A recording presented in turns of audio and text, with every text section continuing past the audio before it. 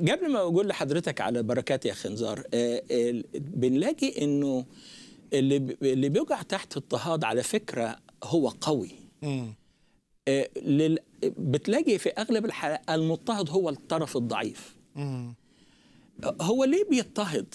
هو بيضطهد علشان عاوز يدافع عن فكرة معينة. هذه الفكرة تحتاج إلى دفاعه. لكن المضطهد لا هو هو عنده فكرة عنده يقين. عنده يقين. واخد لي بالك؟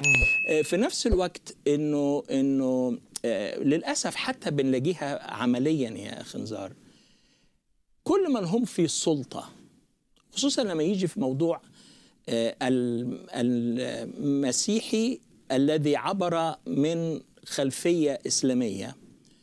بنلاقيه تحت الضغط وترهيب وترعيب من مش من القانون على فكرة.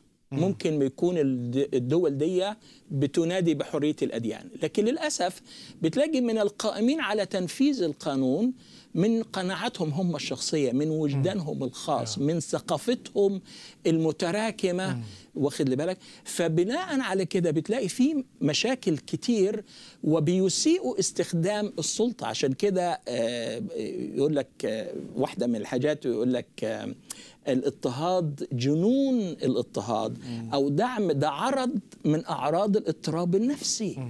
يعني تخيل لما واحد يروح آه، قسم الشرطة المفروض يتعامل معاملة آدمية هو آه لو في تهمة يقيمها عليه.